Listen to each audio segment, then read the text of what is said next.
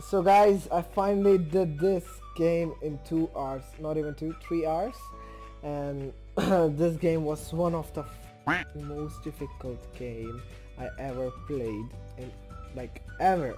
I, I never played so hard game before. So here we go with uh, the final stuff.